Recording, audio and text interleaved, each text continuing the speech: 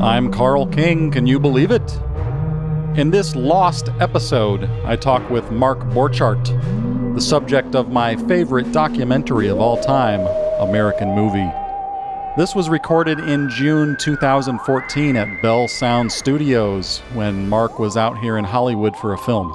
My previous podcast was discontinued due to imaginary city difficulties, so I'm releasing the episode now. Listening back to this, I'm a bit embarrassed at how intimidated I was by him.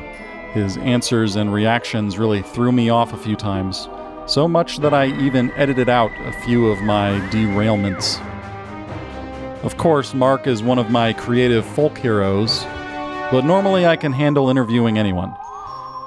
As you will hear, he is highly intelligent and charismatic, and in my defense, I was on a high dose of SSRIs at the time for acute anxiety. It did have a severe sedating effect on me, and I can even hear it in my voice, as I was quite low energy and talking very slow. Side note Mark coincidentally appears on my latest record, Grand Architects of the Universe, which you can find on iTunes, Amazon, Google Play, Bandcamp, and my own shop. And if you want to help fund my creative projects like this podcast, please head over and join my Patreon for $5 a month or $1 a month, $20 a month at patreon.com slash Carl King. Here today with Mark Borchardt.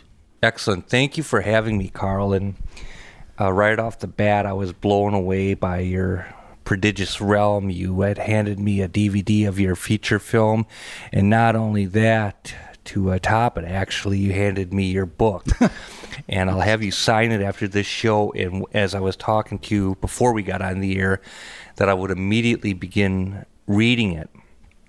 Actually, for a couple reasons. For one, so it doesn't begin to, to collect dust among thousands of other books, but also in honor of your immediate spirit, not only of kindness, but also of your incredible work output, you know, just to honor what you've done in life. So Thank you.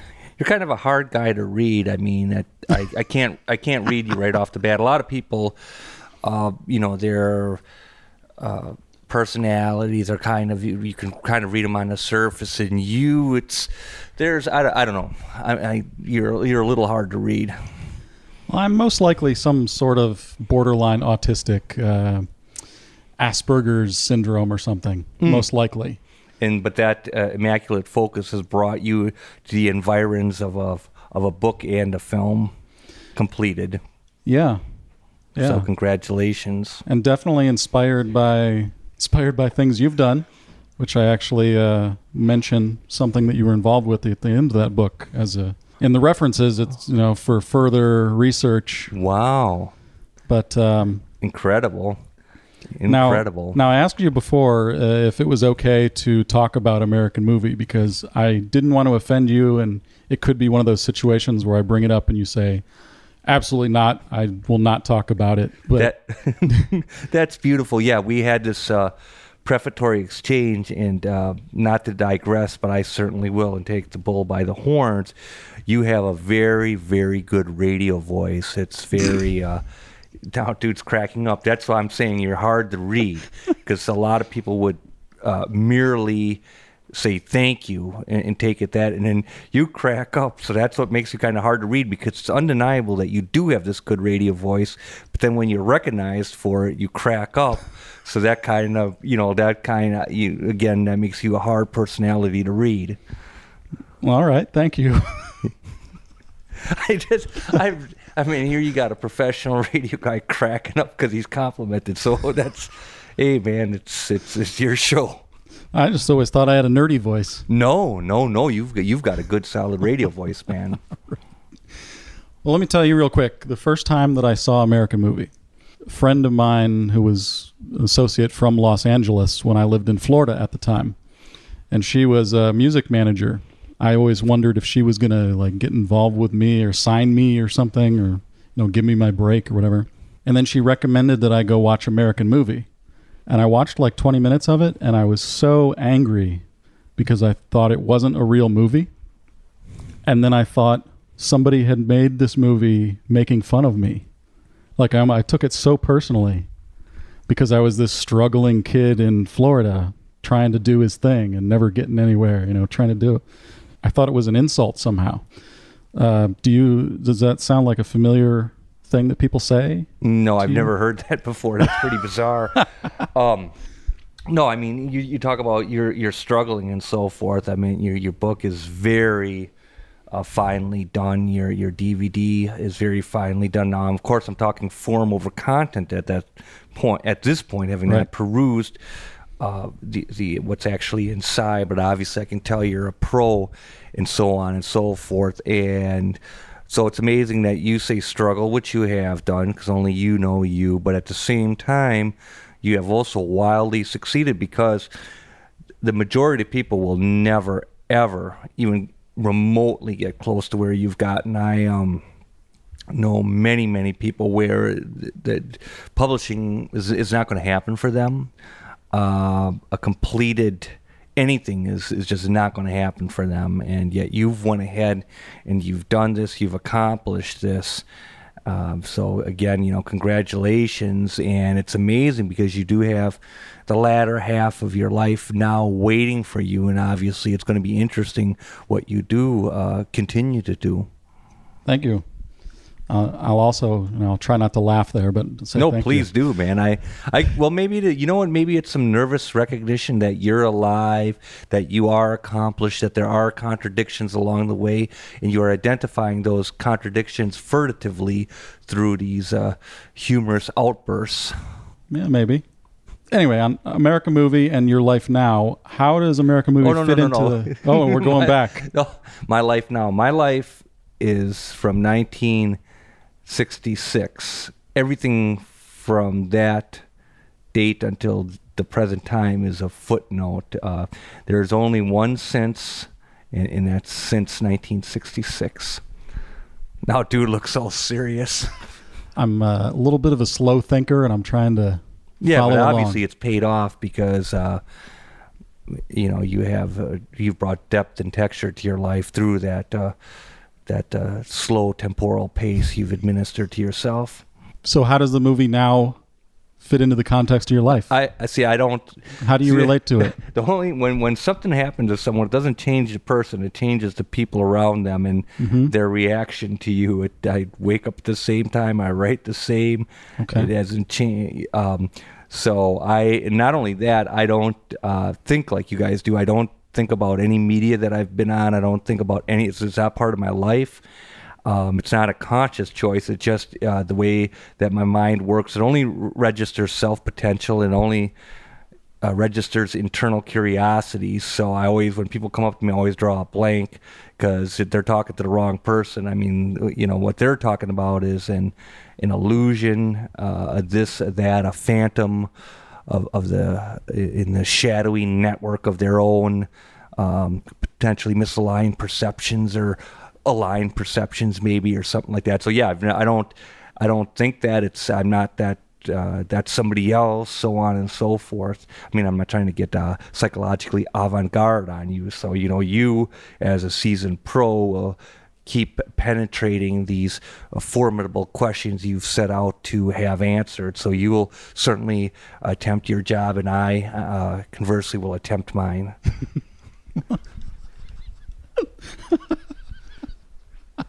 Are you leaving that laughter in? I, maybe. Well, that's certainly an icebreaker. Okay. Impressions of LA. What did you come out here for? Uh, Sasha Grey, specifically, uh, she flew me out for her podcast.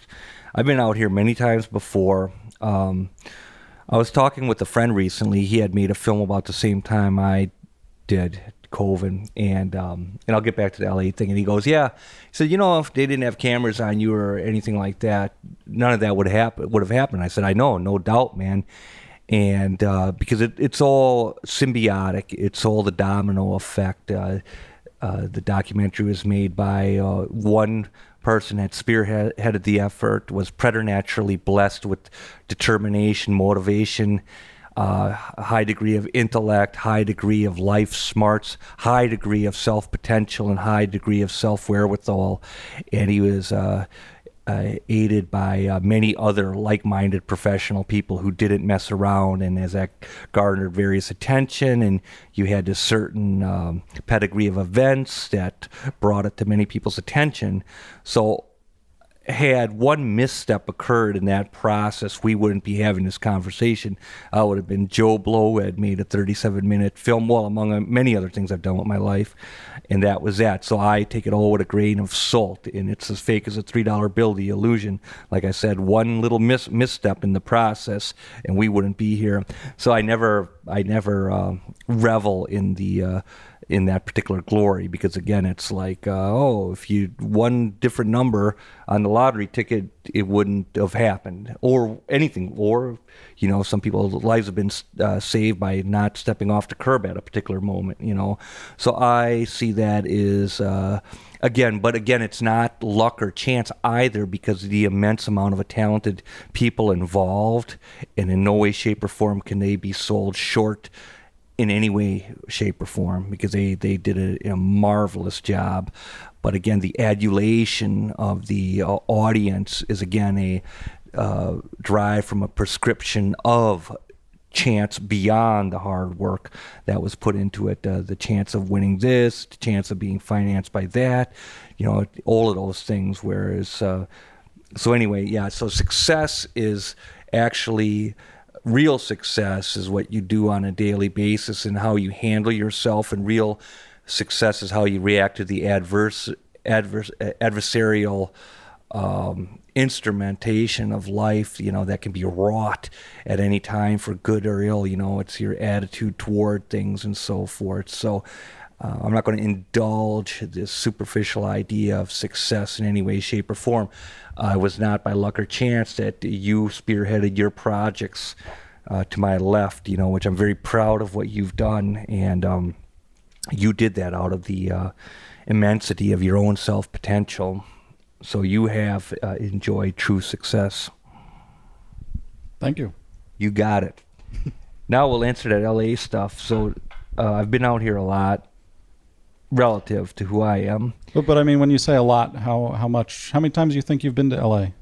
Um, maybe close to a dozen, which is tremendous for me, who has otherwise no business being here. And if this wouldn't have happened, I determine it upon my psychology. I may have never made it out because I don't travel. I don't think like a normal people I, person. I do not op- operate like a, a, normal person. So uh, I'm as foreign as foreign can be to you guys. Um, so, but anyway, specifically, Sasha Grey has a podcast, Deep Tissues. She flew me out here, so thank you, Sasha Grey. Uh, we extended the plane trip to do various gigs. I considered it James Dickey uh, barnstorm for poetry back in his day, and I was barnstorming for bucks, man. Uh, just trying to hit up some gigs to to make bills and so forth, which is something normally some someone doesn't say on the radio because they're just going to give you the usual BS.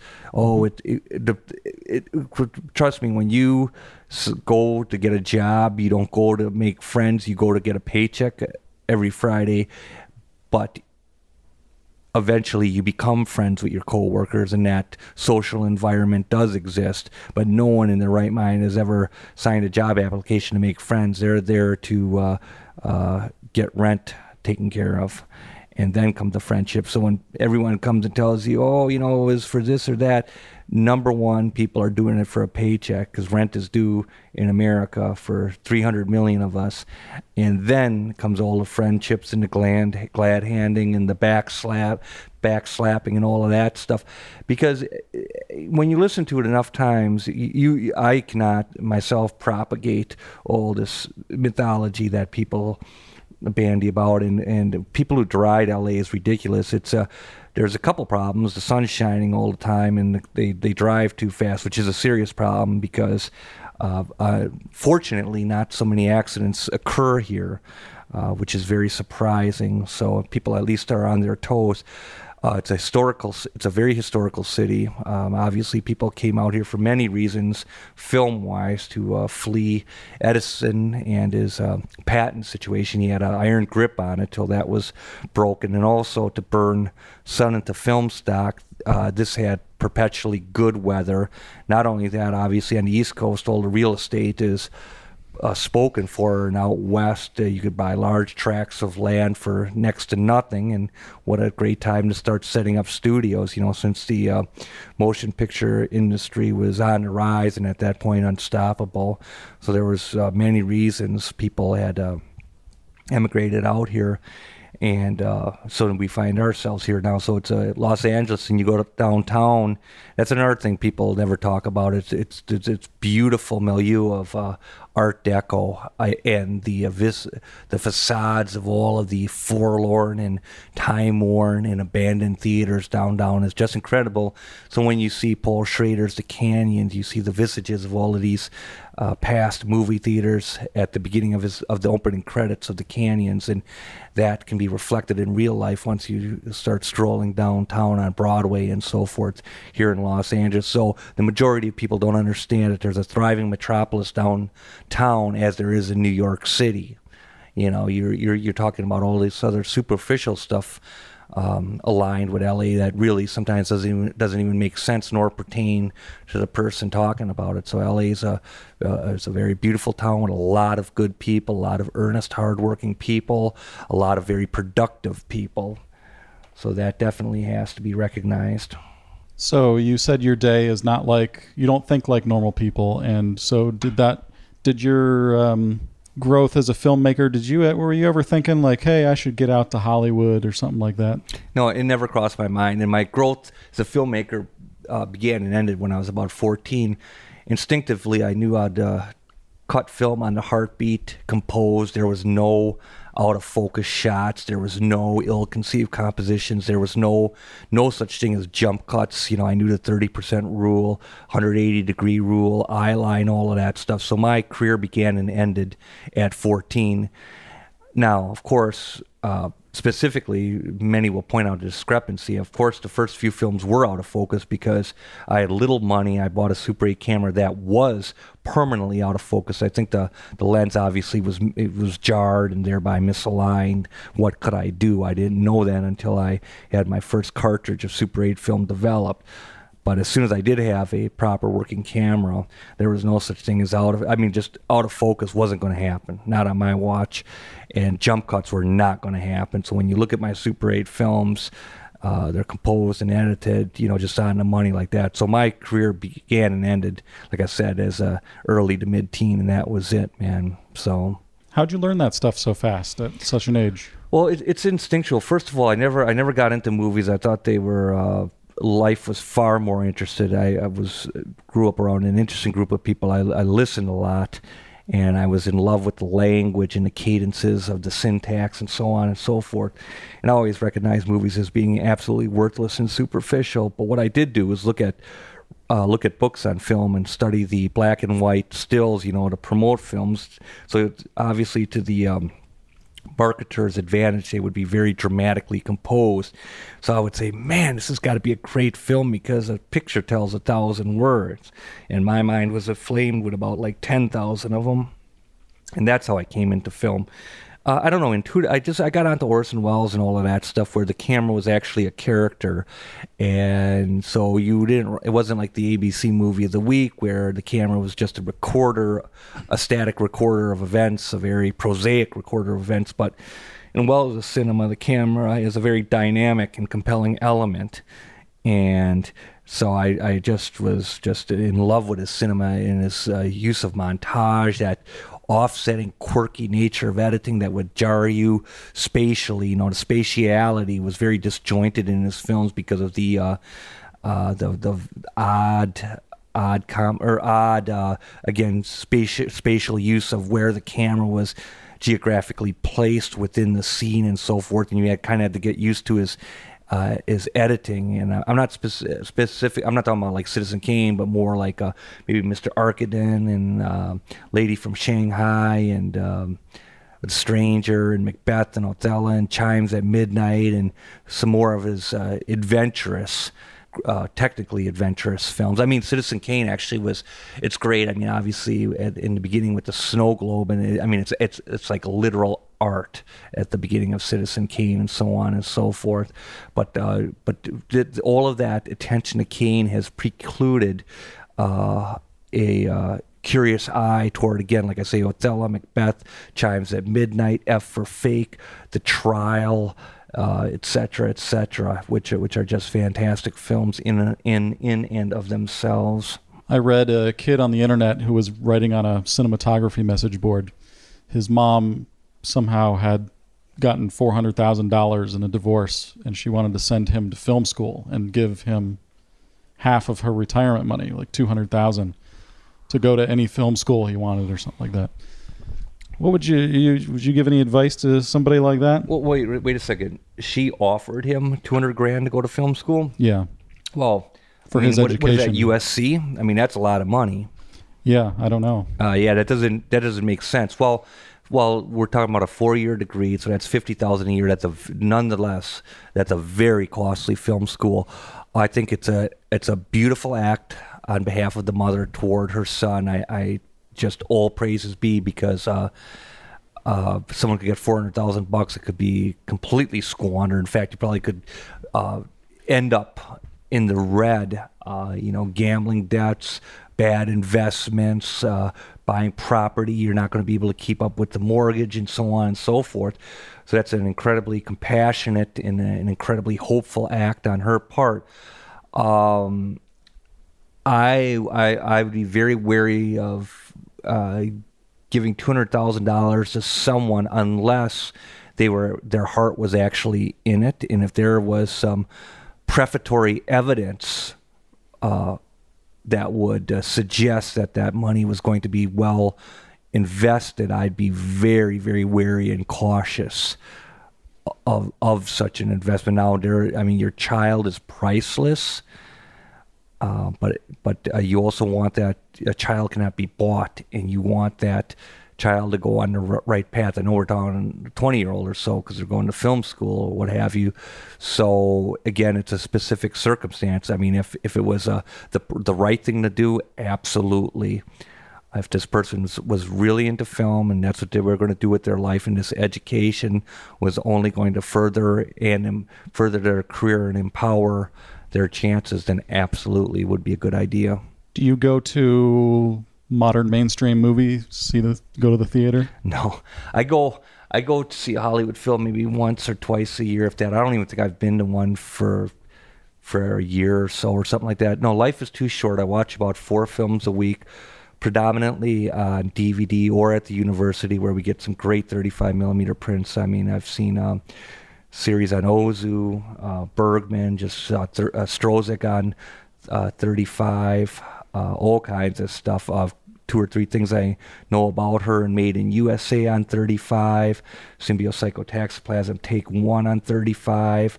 Uh, just um, an incredible amount of films at the university on 35 that I've been blessed by. I'm not going to waste my time in a mainstream theater, even though what I uh, I would have liked to see in August Osage County, which is a very odd thing to say, but I like theater and uh, written uh, by Tracy Letts, so I, I, like when the stage is transferred to the screen because with uh, common narrative film, there's the obsession where each scene must fulfill a, a narrative arc, and you feel the burden, the heaviness of that conven- conventional template always over your head when you're in a uh, watching a conventional movie, but when um, so I prefer films by a long shot. Uh, John Frankenheimer's Seconds, um, Jim McBride's, David Holzman's Diary, Punishment, Park, uh, etc. Well, of course, Cassavetes' Faces, Opening Night, A Woman Under the Influence, Herzog's, Aguirre, The Wrath of God, Signs of Life, even Dwarves Started Small.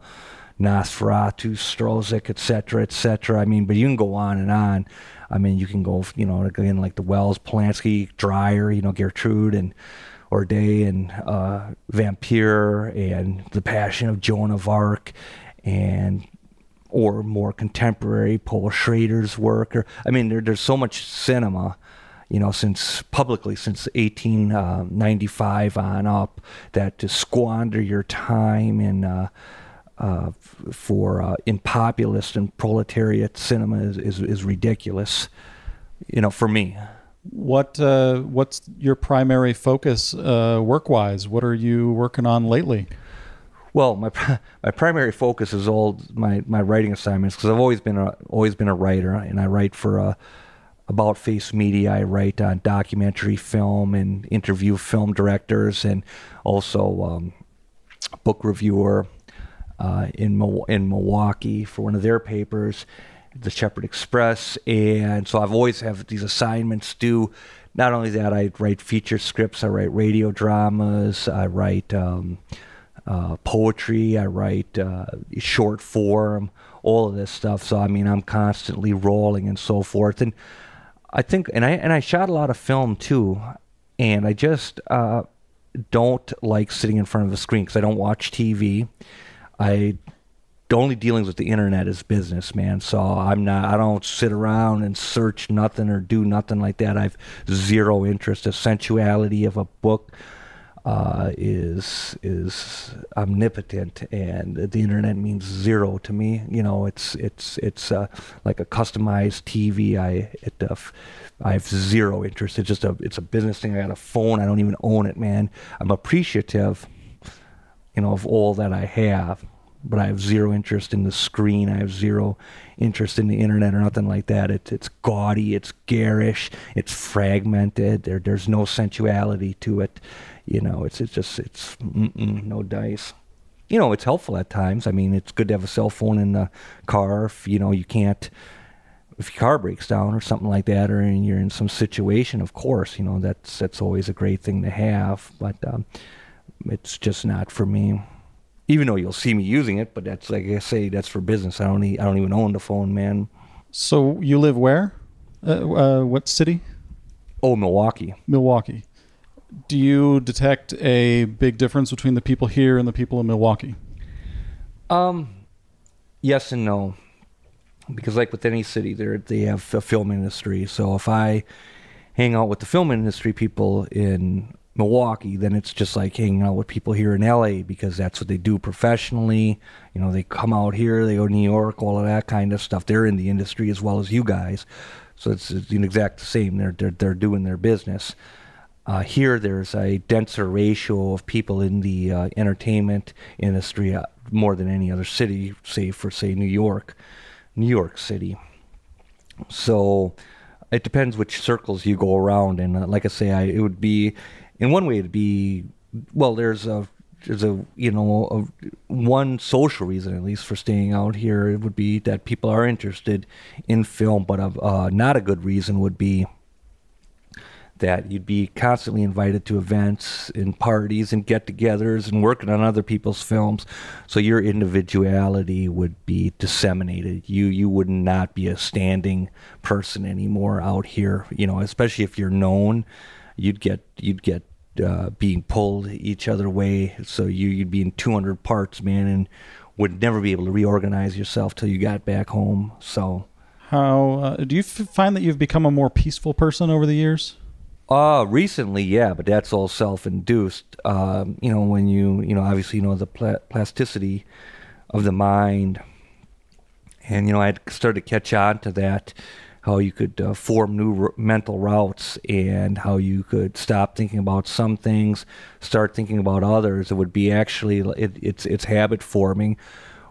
It's an extreme form of compartmentalization that uh, you don't even think about the things that you've thought about before, and also stress-inducing situations you just kind of like blank out on because obviously that's not good for your health. Raises your blood pressure, can send bad signals around the body, and ultimately they can react in a very, very malignant way. And uh, so you want to be aware of that. Uh, so my piece has been brought about by myself. It's funny because people talk about meditation. Hey, man, you know, just sit in silence, don't think about nothing for an hour. And I'm thinking, man, what good is that going to do? You thinking around, thinking about nothing for an hour? Forget that crap and I stand by it. I understand what they're saying. That's their gig. I do my own meditating, invented by myself, which thinks about productive life paths, and that pays off because and then you you fall back on that. You sit around and think about nothing, which 99% of the meditators do. Man, it's God bless you. I, I don't. That it's just not for me. and you got to focus on something, which may be antithetical to that particular philosophy of meditation, but. Uh, uh, all a lot of a lot of very uh, accomplished people you know they focus. That means repetitive thinking repetitive joyous thinking on what you like. That also is called meditation. So on in general you wake up feeling a lot better these days as, as opposed to maybe 10 years ago? No not particularly. Um uh no, because my mind is very complex and hyper analytical. So again, it's not like a normal person just wakes up with a blank or maybe one or two concerns. You know, I, I, I, um, you know, track the sun and the light each day, how that affects me. That can have a very profound historical effect on me as I look back at my history, look forward to my future and how tracking uh, the sun. Sure, tracking the sun. How does I, that work? Well, I, I have no choice. Um, the morning is the most beautiful. It's just calm. It's ethereal. The day has not been poisoned by the insanity of others and other circumstances, you know, beyond your control. So uh, the morning is just heaven and bliss, and then the sun begins to rise and traffic increases and various things have to be accomplished. So then that becomes a more of a very garish, unromantic situation. And I have this melancholy anxiety thing, maybe two, three, four. I'm watching that sun, uh, you know, so on and so forth. But I calm down by when evening, the twilight, the ethereal beauty of uh, Twilight begins begins to make itself known, and slowly but surely uh, begins to dominate and overrule the garish nature of you know that obstinate sun.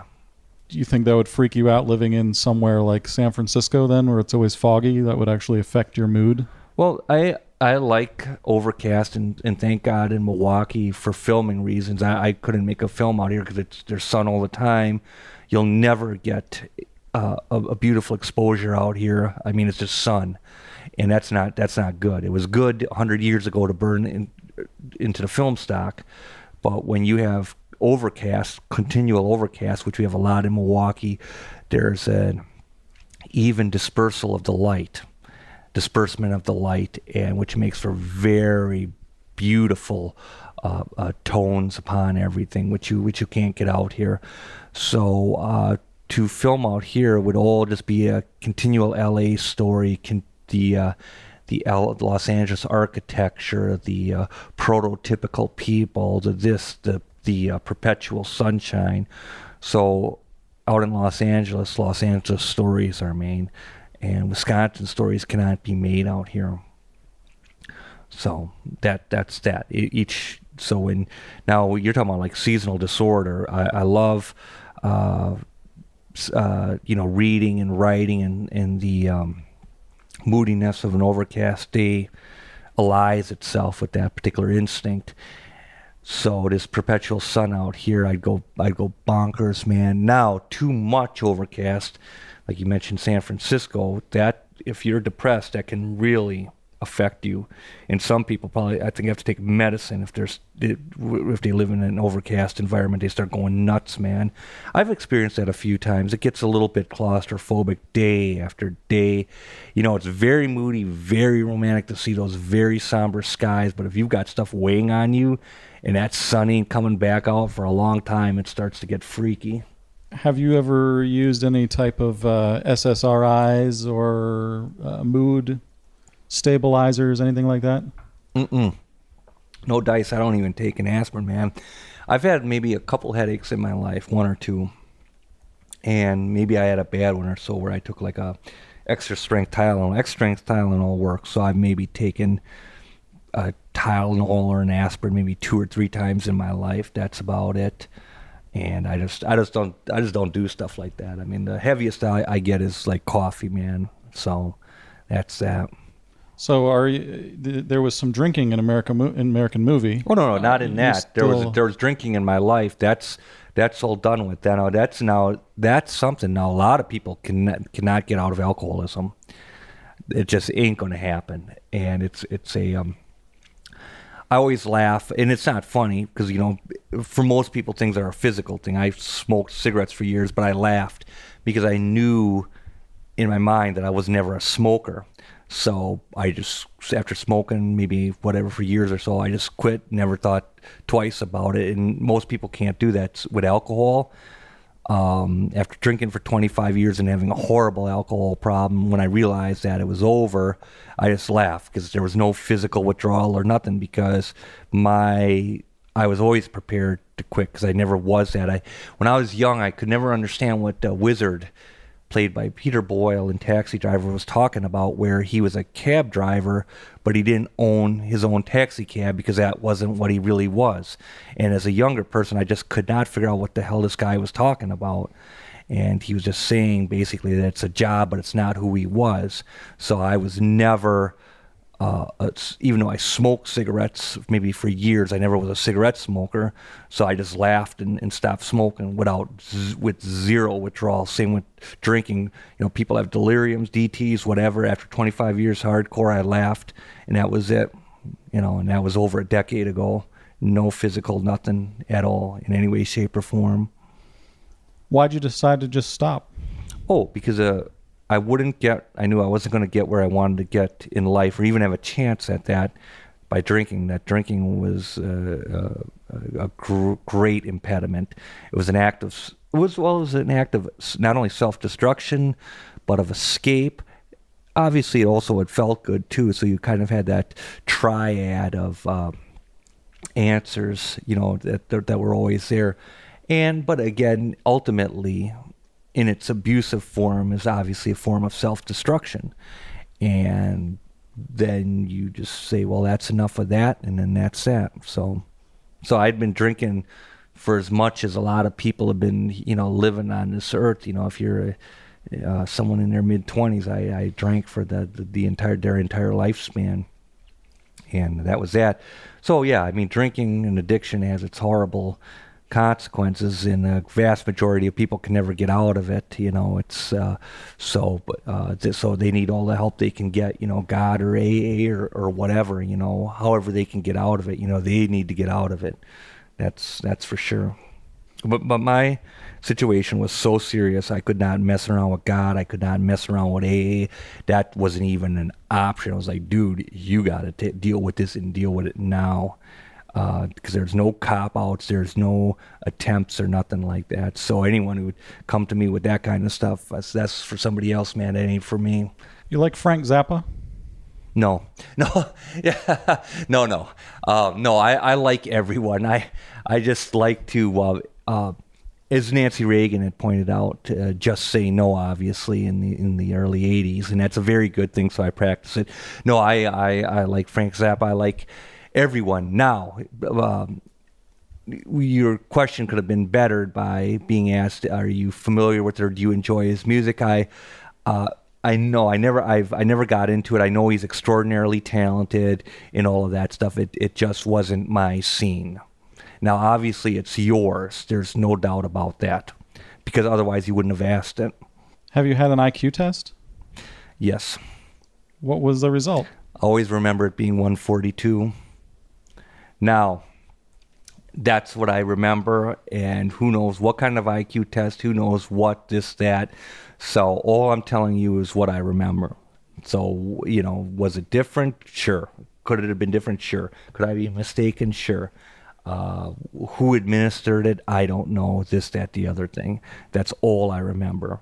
So, don't bet the farm on it. Do you think that you're charismatic? To a degree, yeah. I mean, I'm not going to say that I'm not because that that would be foolish. Otherwise, we wouldn't be having a conversation here. You know, there's you're not you haven't picked Joe. You didn't drive all the way here and say, oh, I'll just find this guy sitting on the curb, man, uh, throwing a can up and down. You know, there has to be some relevance to your narrative um, to make this happen. And has that ever had any negative effects in your life? No, not at all. Why would why would charisma have a negative effect? I've always I, I was the guy that always jump started your car, fixed your flat, helped you move, all of that kind of stuff. Uh, but I was not the guy to sit around as a normal person would at a barbecue. I'd always stay 20 feet away from people and either practice the guitar or read the newspaper because I uh, small talk it fries my brain cells. So I, I like physical activity. I like, uh, like I say, helping people out and so on and so forth. But uh, the, the the minutia, it, it's an absolute waste. And I then, hey, what are you doing? You want to go? I because I would never like meet someone at a bar. I would never. Uh, just sit around with a person or that uh, unless they had something some compelling evidence that they were of interest you know if hey you know i worked with this filmmaker i know this author and it's like man tell me more. That rarely happens. Now here obviously would happen to a greater degree because of the uh, the uh, particular environment you know that that it's replete with artists and so on and so forth. But see i don't when I was a kid, I was smart, man. I I loved AM radio because I loved the uh, the din of the, the, the the voices, whether it was a ball game or people talking. But I caught on that that the, the news would always come up and it was always negative. So like like I said, when I was a kid, man, I just suddenly I just turned the radio. I said, up, oh, I won't be listening to news anymore. So I I don't watch TV. I don't. Anytime the news comes on, I turn it immediately off uh, because that, all that goes into your brain. It's not like you're flying around the world helping starving people. You're not. All you're doing is just uh, getting uh, vicarious and furtive thrills through other people's misery. That's the only people listen to the news. Uh, is, is, because it, it you know there's there's these neural connections that get thrilled by because they're they're not the ones you know in the crash or anything like that, and they feel this disassociated compassion to people. Yeah, there there is there's no harm in being curious. If you turn on the news and you know you're you're curious, yeah, obviously you're human. You have every right to be curious. You have every right to to listen to the news. But uh, but basically, again, it it uh, fulfills a a visceral need or a vicarious need in people. So it's like I say, they're not kicking in money or donating to the poor, to the helpless, or people that have been harmed. For the most part, they're just getting their thrills. So, hey, did you listen to the news? Nope, I ain't that way.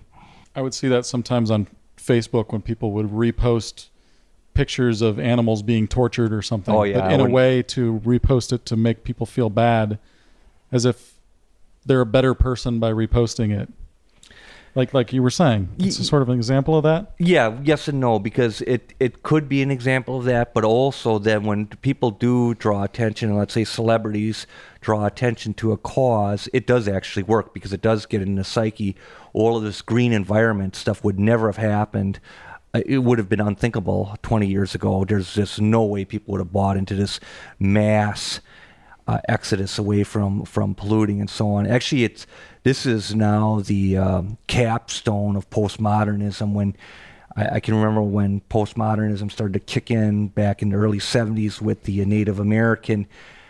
Uh, with the tear rolling down his eye because of pollution, and you know uh, the way I see it, you know modernism may have started about a hundred years ago when we left the uh, Victorian, the Edwardian age of wood and so on, and that the Victorian gaslight and electricity came in, and Art Deco replaced realism and impressionism, and um, then utilitarian stuff started coming in, and then postmodernism to me is when we realized all the harm that these devices were causing, like the car, like the factory, and all of this stuff, and now there's this uh, massive reaction against against uh, modernism, and it's called organic.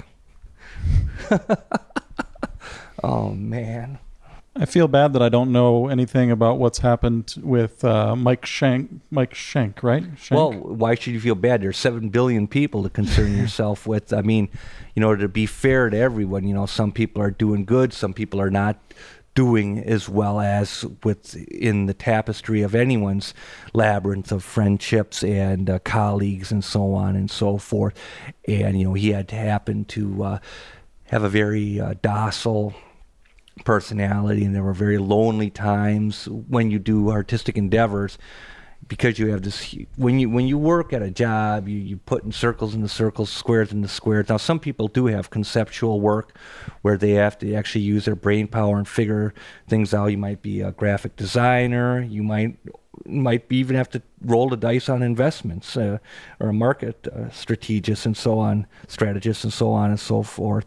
And uh, there are those things. And there's other uh, a lot of people that oh man I go to work and work hard. You know they're they're just doing you know I've worked in factories and, and you know uh, uh, that that's just uh, uh, primate could do that stuff you know it's uh, but brain power man that's where the psychological stress really comes in. You know doing I've worked on the farm the factory the military all of that stuff that's just manual labor man. That's write to write or uh, conceptually conceive of things is, is, far greater work. But you know the the brutes will always defend. Oh, I'm digging a ditch. Well, I'll dig a ditch with you, dude. I've dug ditches too. No sweat, man. That's just physical labor. But uh, brain work is far more. Uh, uh, far more of a, a, burdensome task than, than physical stuff. Like I say, that's just animal stuff.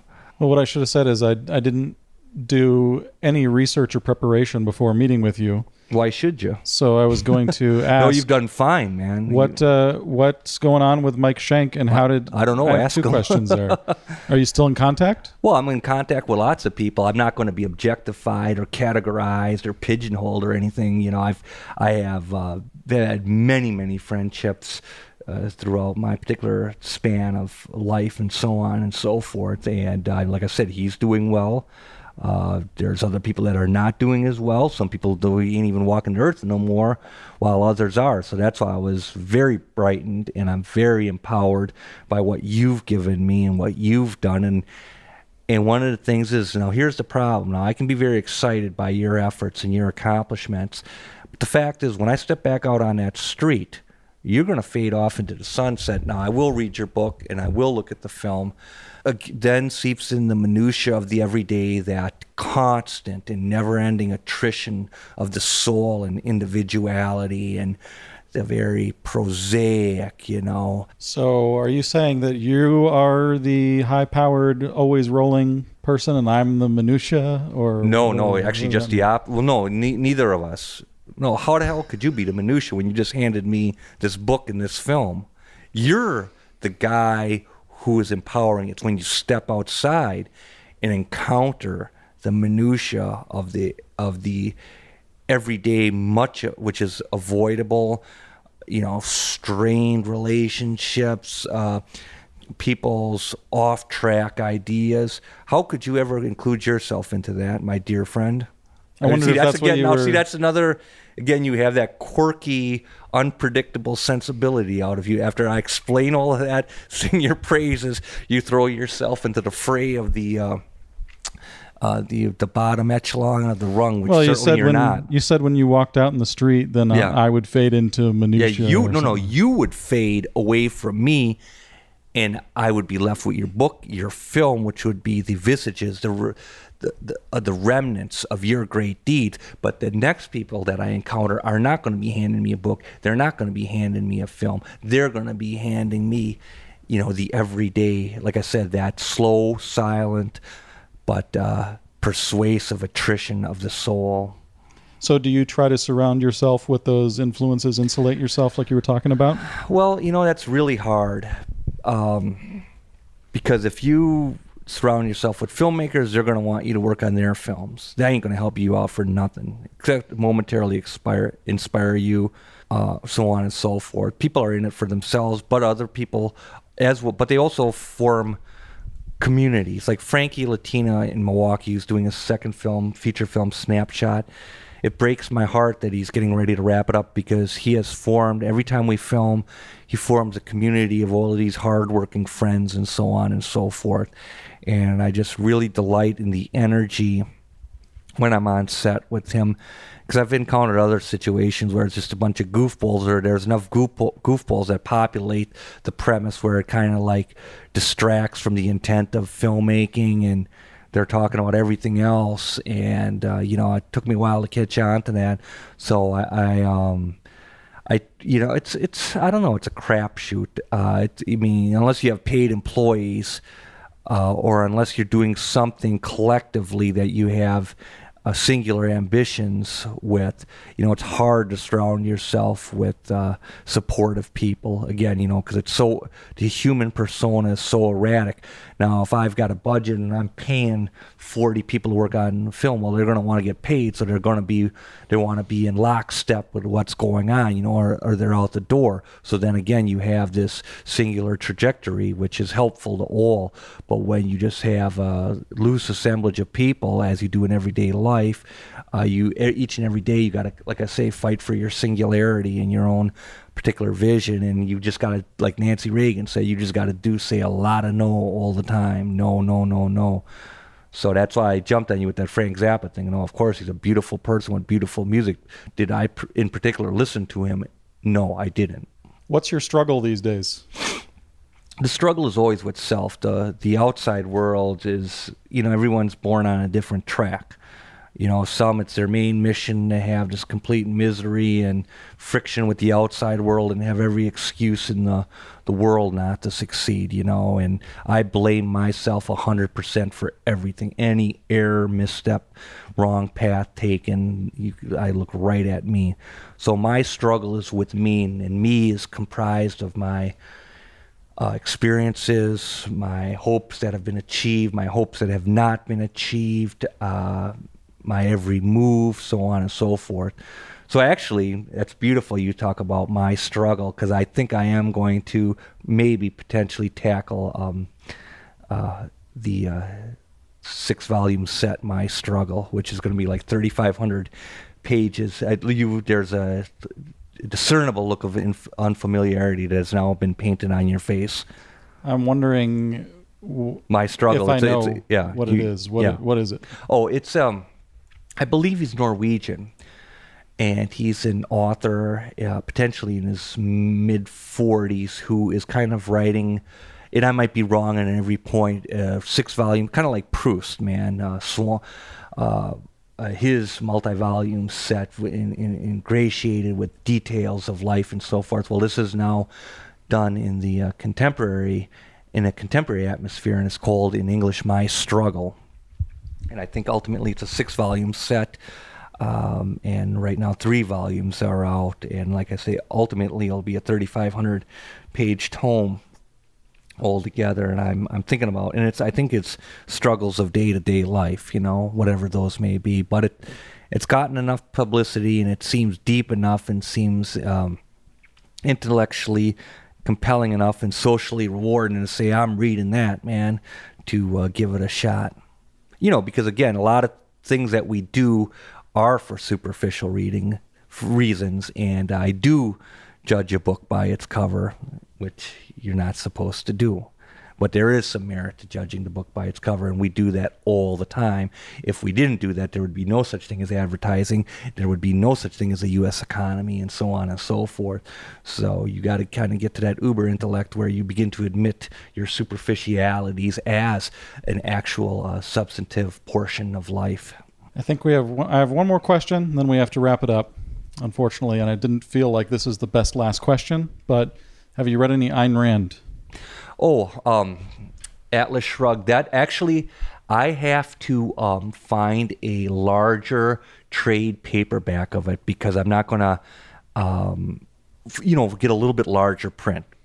You know, it's a dense, yeah, dense volume. And actually, um, I have a rarer book of hers and uh, something to do with uh, selfishness by her. So I got that sitting there. So no, as of yet, I haven't.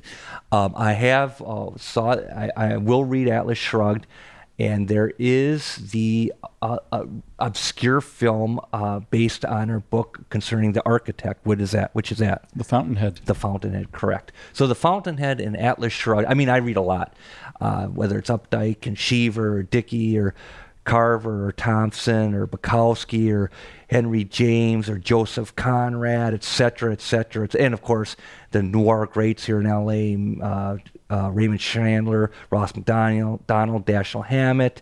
Uh, you know, you can throw in Shakespeare, you can throw in the great playwrights, and I mean, et cetera. I mean, you can go back to Celine and, and uh, Balzac and Proust and I mean, however Baudelaire, however you know it's uh, whatever bohemian death defying you want to get and so on and so forth i mean it's endless i mean we could, we could start we could run names for the next couple hours dude You might want to start with Anthem if you haven't read it by Ayn Have- Rand, no i have i've uh, because that's like a 45 minute read. It's really cool. wait book. by whom by Ayn Rand.